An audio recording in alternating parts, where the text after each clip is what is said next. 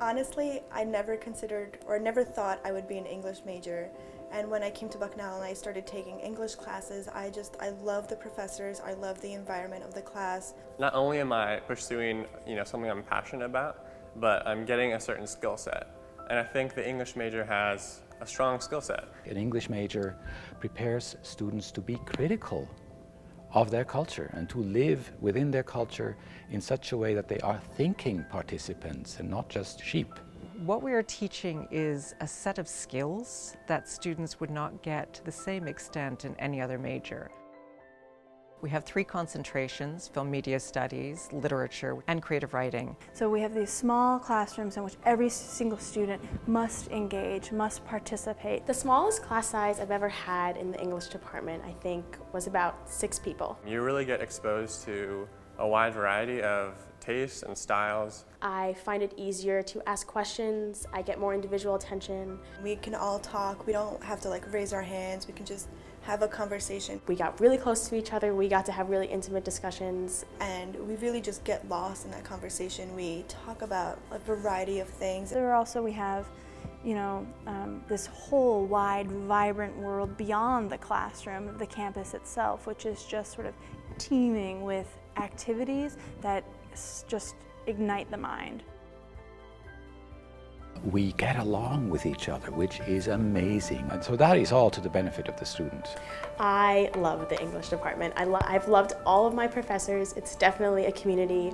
When I go upstairs and I walk down the hallway, I literally know every professor. The English department is very much a community. It is um, just an incredibly wonderful, riotously energetic group of people. I feel like my professors know me, they care about me. Everyone stops me, they say hello, they ask how I'm doing, they know I'm graduating, they want to know if they can help me once I I'm out of Bucknell. Faculty are frequently working with their students for research projects or potentially on a project that a professor is working on and needs help. I was an intern, an editorial intern for West Branch, which is Bucknell's literary magazine. I got to learn a lot about publishing. I got to learn from the editors and my voice was heard, my voice was respected, um, and I was sitting with very accomplished poets. Outside of the English department, I have two jobs here on campus, both dealing with film.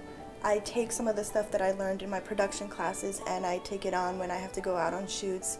I'm also writing an honors thesis in the English department this semester. I meet with my advisor once a week. We talk on the phone probably two or three times a week, which is really great. She's been there for me 100% of the way. And that has been a very, very helpful um, process for the students. English also is perhaps one of the most advantageous majors to have for a double major. So I'm an uh, English major with a concentration in film and media studies as well a computer science major. There are things we talked about in my graphics class that I actually talked to my TV industry class, which every time it's brought up, I'm like, oh my god, I learned that in my other English class and now it's in computer science and I just, that always baffles me. I'm a double with classics so we read a lot of historical texts that require interpretation, and English really helps with that. I need to write papers for other classes. I'm a writer. Articulating myself well, expressing my opinions, conducting arguments has helped me a lot in other classes. The rewards of having an English major seem to me to be immeasurable. The question about why study English um, if you want to be a doctor, say, if you want to be a lawyer, why study English? If you want to be an engineer, why study English? The question is, um, what kind of an engineer do you want to be?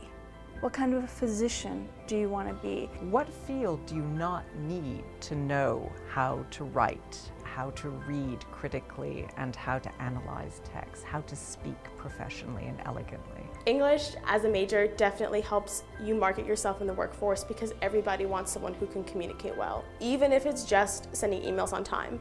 My combined degree is definitely already making me more marketable. Um, I'll go to technical interviews and they're like, you're double majoring with English and they'll give me a look and be like, it's great that you're um, double majoring with English because most of the people we hire have been coding for four years and never written an essay, never written a paper. I've really grown a lot in communication um, being articulate about my ideas, expressing them well, um, and doing so in a persuasive way. You will find that English has prepared you extremely well, and that is because English teaches you how to think. In other words, it teaches you how to read Advertising, newspaper and journalism, fiction, certainly.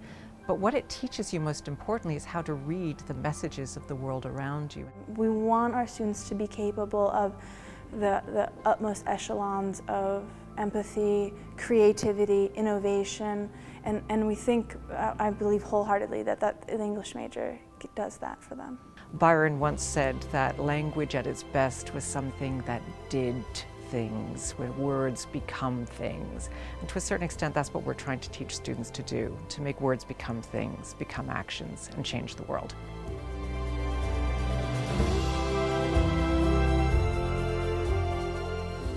My name is Jennifer Weber, David Gorman. Christiane Maya, I want to be a writer. publicist. software engineer. Challenger of conventions. Catalyst for creativity. Contester of assumptions. And I'm an English major.